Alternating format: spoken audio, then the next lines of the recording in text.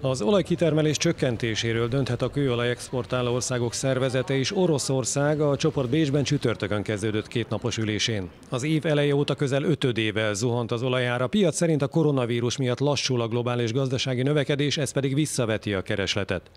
Az árzuhanás a kutakon is érzékelhető. Magyarországon 15 éve nem csökken néhány napon belül ennyivel, csak nem 20 forinttal az üzemanyag literenkénti ára, mint most.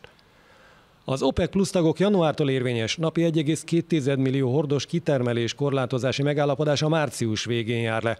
A tervek szerint a második negyedévben ezen felül napi 600 ezer hordóval fognák vissza a kitermelést, ha megszavazzák ezt a miniszterek. A koronavírus veszély miatt elővigyázatosságból a sajtót nem engedik be a központi épületbe Bécsben, és az ülést követő sajtótájékoztatót is online tartják meg.